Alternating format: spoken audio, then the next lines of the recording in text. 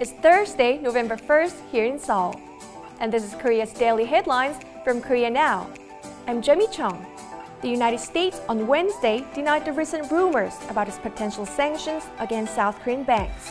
The announcement comes after smoking rumors that some South Korean banks are facing U.S. sanctions over North Korean nuclear ambitions. Next week, U.S. Secretary of State Mike Pompeo will make another trip to Pyongyang to discuss North Korean denuclearization process. South Korean Defense Minister Jeong Kyeong-doo and his U.S. counterpart James Mattis signed the alliance guiding principles in the Pentagon. This guideline is expected to relieve the U.S. concerns about the planned transfer of wartime operational control, or OPCON. This official guideline concerns the continuous stationing of the U.S. forces the Combined Forces Command and the UN Command in the Korean Peninsula, regardless of changes in the inter-Korean relationship. Hyundai Department Store opened its first duty-free store in Seoul on Thursday. The new duty-free shop will launch at Hyundai Department Store's Trade Center branch in southern Seoul. Some 420 brands, including 40 international luxury makers, will join the new store. Moving on to K-pop. Japanese-American musician Steve Aoki thanked BTS for breaking the glass ceiling in the world pop culture.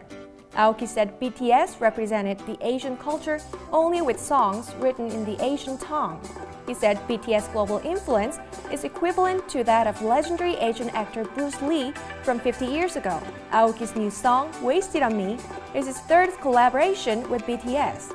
The song is BTS' first song to be performed completely in English. Aoki said the Asian pop culture will continue to increase its presence in the global pop industry.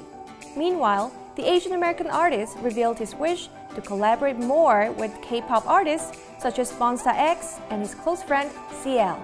K-pop superstars EXO enjoyed fat sales for its upcoming album, Don't Mess Up My Tempo. As of Wednesday, EXO sold more than 1.1 million copies of the new album just in pre-orders.